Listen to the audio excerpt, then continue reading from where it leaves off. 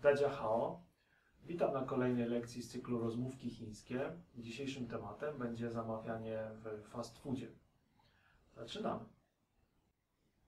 Mm, Przebywając przez dłuższy czas w Chinach, każdy z nas ma czasami ochotę na jakieś zachodnie jedzenie, na przypomnienie sobie naszych europejskich smaków. Bardzo popularna w Chinach jest restauracja McDonald's, dlatego wielu obcokrajowców bardzo często udaje się tam e, na posiłek. E, zobaczmy, jak e, wypadła nasza wizyta w McDonald's. 你好，我是小林饭堂蛙，可以呀、谢谢。来一份菊花早餐，不加大吗？不加大。呃，开来欢红茶，在这里是加俩红豆派， 不加。二十三块五。珠宝早餐，谢谢，再来。豆浆二十三块还五。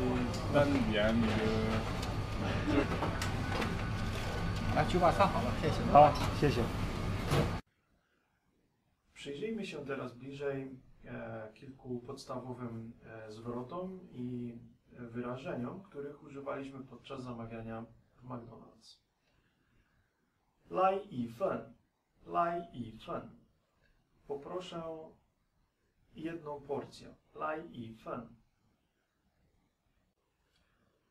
Jeżeli chcemy zamówić zestaw, zestaw po chińsku to taocan. Taocan. Czasami możemy mieć różne dodatkowe wymogi dotyczące naszego posiłku. Czasami chcemy zamienić Coca-Colę na kawę. Wtedy użyjemy słówka huan. Kele huan kafej. Kele huan kafej. Ko- Kole zamieniamy na kawę. Kele huan kafej.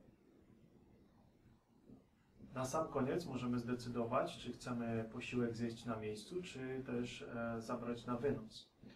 Na miejscu powiemy zajczeli, czy zajczeli, czy zjem tutaj. Natomiast na wynos będzie dajdzą, dajdzą, dajdzą.